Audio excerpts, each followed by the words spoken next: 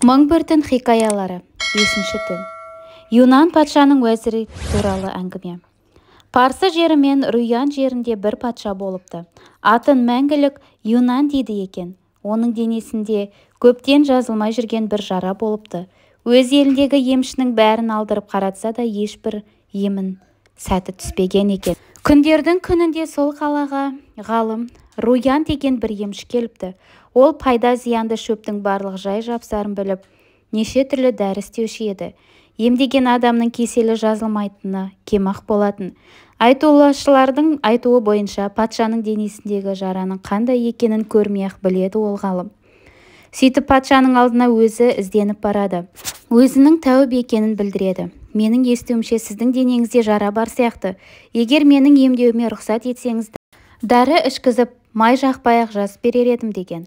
Бұл сияқты оп-оңай жазам дегеніне патша таңырқап сіз қандай ем қыласыз? деп сұраған патша оған ғалым тек сіз емдеуге ғана рұқсат етіңіз қалай істеуін мен көрсетейін деген патша бұл ұсынысын қабыл алды.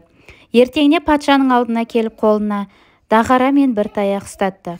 Шамаңыздың барынша дағараны ұра беріңіз деді ғалым патша дағараны қаға берді өмірі қолына көсе ұстап көрмеген патша дағараны қағу да едәуір жұмыс болды. Тері шығып денесі жібіді.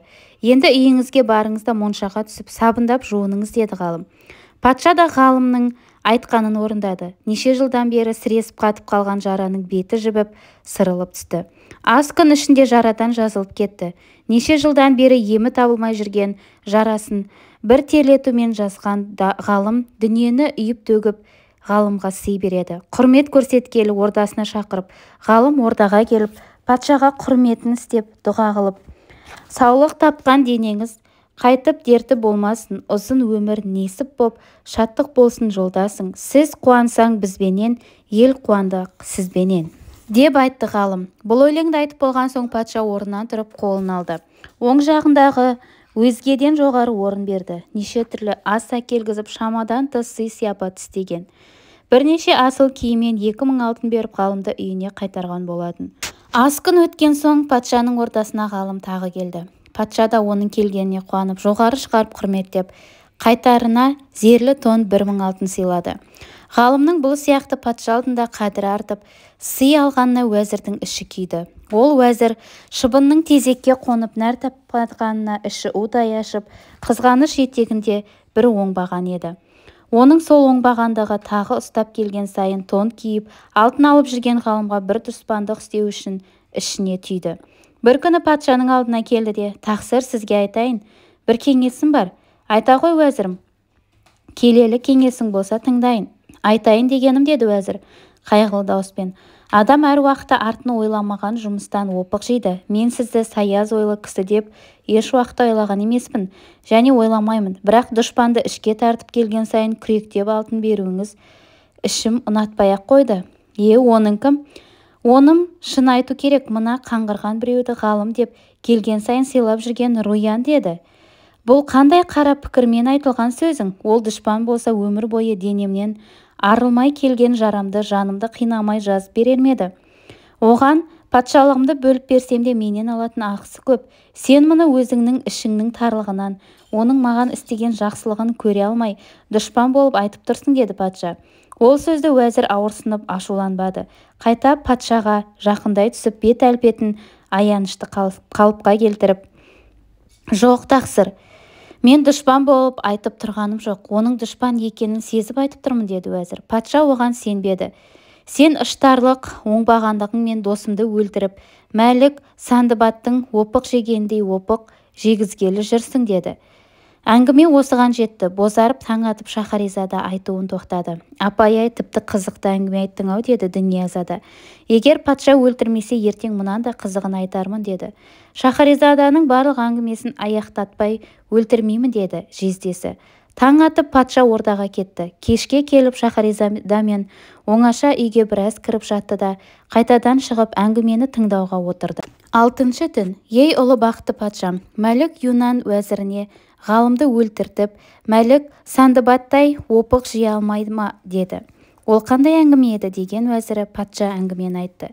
Мәлік сандыбат туралы әңгіме. Парсының бір патшасы аң аулаудың қызығына түсіп әбден әуейленіп біткен екен. Ол ел жұмысын мүлде қойып күн сайын аң аулаға баратын оның өте жақсы көретін бір тұйғыны болыпты патша оны ешқашан көзіне таса қылмайтын алтыннан тұғыр істетіп жанына қондыратын еді. Кішкене алтыннан сауыт істетіп ішін суға толтырып тұйғынның мойнына іліп қоятын болған. Шөлдегенде тұйғыны содан су ішіп тұратын. Бір күні жігіт желең-желеңін алып патша аңға шығыпты. Жұлдыздай аққан бір киікті ит пен құс қамап адамның арасына әкеп тықты. Қолдың саласындай қоршаған жігітке патша бұйрық берді. Бұл киікті ұстауларың керек. Кімнің алдынан шығып кетсе соған өлім жазасын берем. Малы талауда басы жаламда болады дейді. Бұл бұйрықты құлағы шалған жігіттер шыбын қашып шыққан пастай шеп құрып тұра қалады. Шыбын жаны қамауда қалған киік допай домалап оқтай атылып патшаның үстінен ырғыды да кет. Жазық төсінде ойнап өсірген сахараға шыққан соң құстай ұшып желдей есіп шаңын көрсетпеді киік. Селтиіп тұрып қалған жігіттер тақсыр бізден аттап кетсе басымыздың жаныңа атқан қандай байлауға тиісті? Өзіңізді аттап кеткенде қандай жаза берерсіз деді әзіл күлкісін араластырып. Патша ойланға түрмен маған берілетін жаза жер үстін түгел кессем де сол киікті ұстамай қайтпаймын деп шаба жөнелді. Бірнеше бел бірнеше құздан өтіп киікке жеткен екен патша. Қарасы көрінгенде тұйғыны қоя берді. Тұйғынды қоя берді. Бармақтай құстың киікті алып соғарлық қуаты болмаса да басына қонып қанатымен көзін сабалап тұрғанында патша да жетіпті. Киікті алып қаласына қайтарда шаршаған ат шөлдеп тандыры кеуіп аяғын қию басуға жамаған күн шыжыған ыстық жеке біткен жалғыз ағашқа тап келіп саясында отырып дем алыпты патша.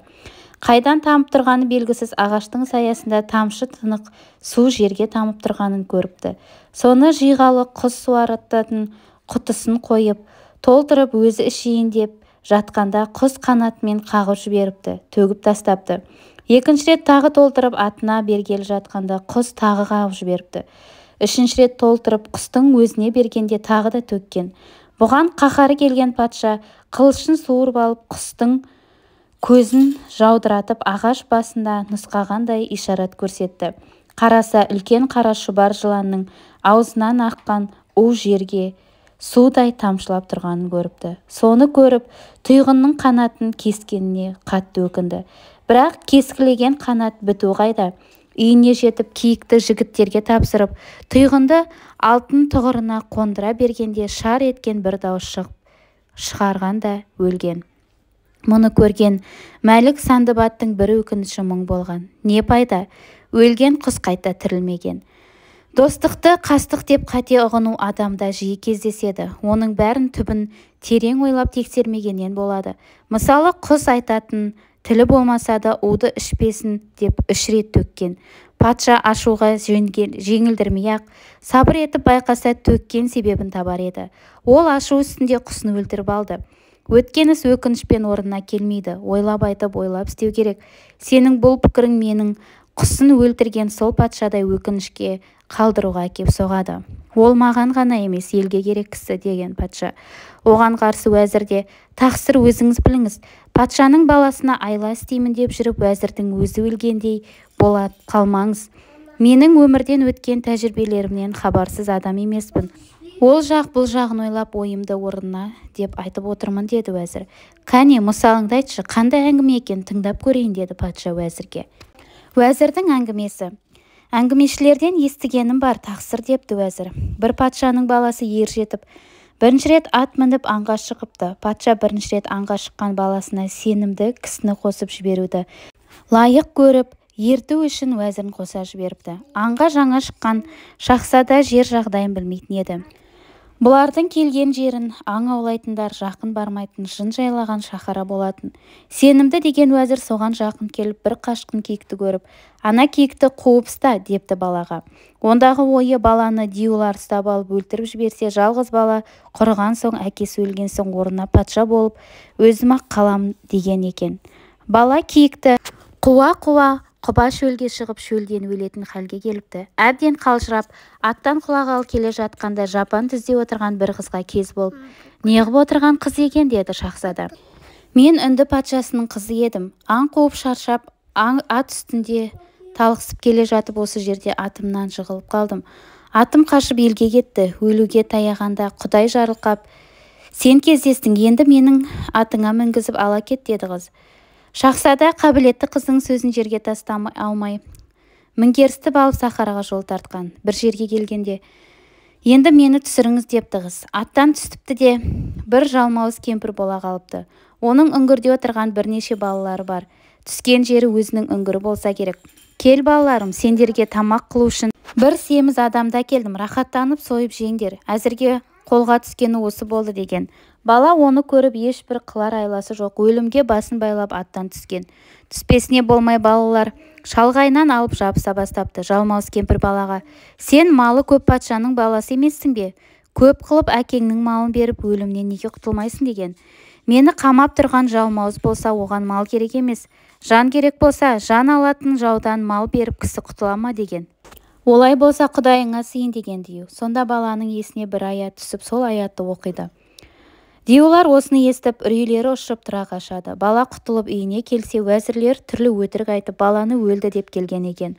Бала бастан өткен барлық уақиғаны айтып уәзірлерді өлтірткізіпті сіз де сол сияқты патшаларыңызға қиянат істегелі жүрген біреуді аяп өміріңізге қатер тұрғызып алмаңыз ауруыңызды оңай жаза білген кісі сізді оңай өлтіреді біледі деп уәзір сөзін бітірді. Бұл патшаны ойландырды. Егер ол ғалым қас бола қалған күнде мені оңай өлтіргені рас-ау өлтіретіні. Уәзір мынадай кеңес беріп тұрғанда өлтіріп берген алтынымды да шығындатпай қайтарып алайын депті. Ал уәзірім оның жау екенін. Көзің анық жетсе қандай шара қолданбассың деді патша. Уәзірдің жүзі жайраңдап өлтіру керек деді. Патша келісті. Патша тездетіп руян ғалымды алдына шақыртты. Ғалым келіп патшаның ізет құрметін орындап қол қусырып тұрды да патшаға мынаны айтты. Жаһан шахы юнанға әр кезде құдай жар болғай көңілге алған талабың. Кемтігі жоқ жар болғай. Тасқа шапшаң қылышың қырқып түссің қайтпасын. Нені ойласаң соған жет жан тізгінін тартпасын деп дұға қылады. Бұл жақсы сөздер патшаның тастай қатып бекініп алған жүрегін жібіте алмады. Ызғарлы жүзбен. Сені неге шақырғанымды сездің бе? деді. Жоқ тақсыр. Мен сені өлтіру үшін шақырдым. Күнәм не тақсыр? Сен сиқыршы екенсің. Ептеп маған жақын болып алып өлтіргелі жүр екенсің. Сол үшін алдын ала мен сені өлтіріп көңілімді жай табамын. Жендетін шақырды да өлтір деп бұйрық берді. Тақсыр өмірімде ешкімге өлім тілеп көргенім жоқ. Өмір тілеумен келемін. Сізге мен қас емеспін доспын. Жасы жетпеген балаларым бар. Олардың көз жасына рахым етіп мені өлтіре көрмеңіз деді. Жоқ енді өмірден күдер бер. Сені тірі қойсам маған өмір жоқ екеніне әбден көзім жетті. Оңай кеселдің емін тапқан саған өлтіріп тастау да қиын болмайды депті патша. Жақсылықтың жазасын жаманшылық бола ма тақсыр деді ғалым. Енді артық сөздің керегі жоқ. Саған өлім жазасын бұйырдым. Налыған ғалым мынаны айтты өмір бердім кісіге өлім берді ол маған. Ғалым үшін қара түн бола қалған бұл заман. Ойламаған ғапылмын. Қылыш кесті мойнымды үрейеттің ит байлаулы қасқыр баққан қойымды деген. Бұдан кейін жендет қылышын суырып шабуға ыңғайланды ғалым ең ақырғы рет патшаға мұңын айтып құдай қойған саясын жалпақ елдің басына. Нахақ қаным төкпеңіз ая мені падиша. Тақсыр міне менің бұл өлімім жайын мен. Балықшының уақиғасы сияқты болды. Мен-ақ едім ақ та болса өлім жазасына лайықты деді патша. Ол қандай әңгіме деді тыңдағысы келіп. Бірақ ғалым әңгімесін айтқысы келмей. Тақсыр мен қалай айтайын басымды тұрған қылыш мынау сіз менің өлімімді кәріптігім үшін кешіріңіз. Ол үшін сізге алла тағала ұзақ ғұмыр берер. Ғалым бұлай зарлап тұрғанына жүрегі жібіген бір сардар тұрып құрметті патшам бұл ғалымның өлімін кешіріңіз депті. Аяғын құшып патша тілек етіп оған патша бұл бір елдің құпия жіберген жансызы сияқты көрінеді. Осы уақытқа шейін өзін сездірмей емші атын бүркеніп жақын болып алып мені өлтіргелі жүріпті. Анығында көзім жеткен соң мұны өлтірмей болмайды. Мұны өлтірме деп ешқайсың менен тілек етпеңдер. Бәрібір мен оны бермеймін деді қысқа ғана қайырып. Ғалым анық өлетініне көз жеткен соң бір амал тауып аман қалуға кірісті.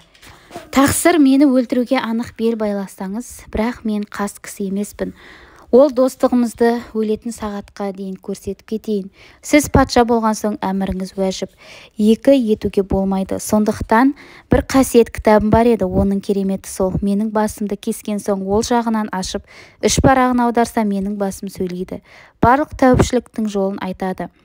Қандай кесел болса да емін айтады. Сол сияқты қасиетті кітап далада қалғанша сізде қалсын. Оны әкеліп беру үшін маған жендетіңізді ертіп жатқан үйіме жіберіңіз. Сонымен бірге барып алып келейін. Соның артынан өлтіре беріңіз деді. Патшаға бұл сөзде өте тамаша көрініп өлі басты сөйлейтін кітапты құмарлана. Жендетті ертіп үйіне жіберген. Ғалым үйіне барып бұл кітапты ала салып қайта келіп тақсыр менің кітабым мынау еді. Алыңыз да басыңызды кескен соң қаны тыйыла берген кезде бетін ашып тілеген сөзіңізді сұрай беріңіз. Бірақ мен өлмей бетін ашпаңыз. Көп жыл еңбек етіп жазып жаңа ғана бітіріп едім. Игілікті жұмысқа енді жаратам деп жүргенімде сіз салған өлім тұзағына іліндім. Тіпті бетін ашып оқуға да уақытым болмады. Енді сол кітаптың ашылғанын көрмей-ақ өліп кетейін. Мені өлтіру жағын тездетіңіз деп қолына берді. Патша бұл асықтырудың сыры болмас па екен? деп өлмей тұрғанда кітапты бір қарап шығуды дұрыс деп көріп кітапты қолына алды да уәзірге беріп үш-төрт қағазын аштырып қаратты. Ол біріне бірі жабысқан қағазды жөндеп аша алмады. Оған патшаның ашуы келіп қолынан кітапты жұлып алып сол жағынан бірнеше бетін аударды. Қағаздары біріне бірі жабысып қалған кітапты тілмен қолын жалап аудара берді. Ашқан жерінде ешбір жазу жоқ. Ғалымға қарап бұл кітаптың жазуы қайда деді патша? Ашша түсіңіз тақсыр. Жазуы әрі ар жағына таман деді ғалым. Ол кітаптың барлық қағазына ғалым у сүртіп алып келген еді. Кітапты жартылай ашқан кезде патша аузынан ақ көбігі ақты да сылқ етіп жерге құлады. Сеспей қатып жаны шықты. Аздап у жалаған уәзірде құса бастады. Орда кісілері у-шу болды. Оны көріп ғалым патша болсаң бөл көңіл жазықсыздың зарына. Жазықсыздан зар шықса ол ұқпайды жалында. Ол зар шыққан ұлы күш тауға басын игізер бас имесең ол бір өрт күллі әлемді күйдірер деп есіктен шықты да жүре берді. Оған кедергі боларлық бір кісі де болмады. Дию сен тап сол сияқты болдың. Сені судан шығарған мені өліммен сыйлаған келді ғой. Ғалымға қас болмаса патша өлмес еді. Сен маған қастық қылмасаң қайта құмыраға қамалмас едің деген шал. Әңгіме осы араға жетіп таң атып шахаризада әңгімені тоқтатты. Әңгіменің жалғасын тыңдау үшін төмендегі описание бөліміндегі сілтемеге өтіңіздер. Қазақша контентті қолдап арнама тіркелуді ұмытпаңыздар. Және де менің каналыма кірген кезде осы жерде плейсте деген бөлім бар. Осы плейсте бөлімінен өздеріңізге керекті видеоларды пайдалы кеңестерді аудиокітаптарды және де қазақша әңгімелер және де жаңадан шыққан әңгімелерді тыңдай аласыздар. Арнама тіркелуді ұмытпаңыздар. Жетпіс мың оқырман бар екен жүз мың оқырманға жету үшін бар болғаны отыз мың оқырман қажет. Сондықтан давайте бәріміз арнама тіркелуді ұмытпайық.